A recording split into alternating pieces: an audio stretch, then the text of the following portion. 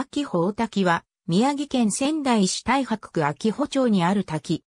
蔵王国定公園及び、県立自然公園、二口峡谷の地域内を流れる、名取川上流部において、落差55メートル、幅6メートルで流れ落ちる。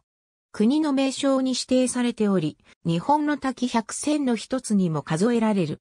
諸説あるが、日本三大名瀑あるいは日本三名瀑の一つに数えられることがある。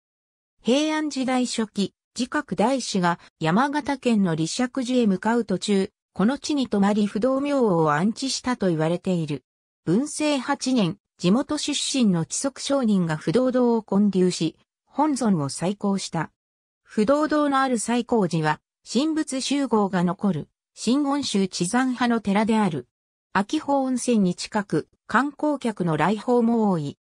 名取川右岸の秋保大滝駐車場から滝見台及び不動滝橋を経由して、秋保大滝の滝壺を最も近くで見られる。名取川左岸までの 1.0km は、新、奥の細道、秋保大滝パノラマの道として整備されている。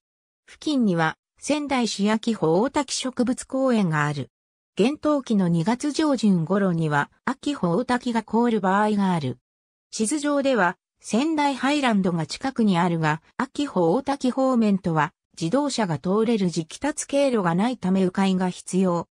秋穂大滝バス停県道仙台山寺線の代替路である指導上の玄森安線が通る、秋穂大橋3月竣工の園庭。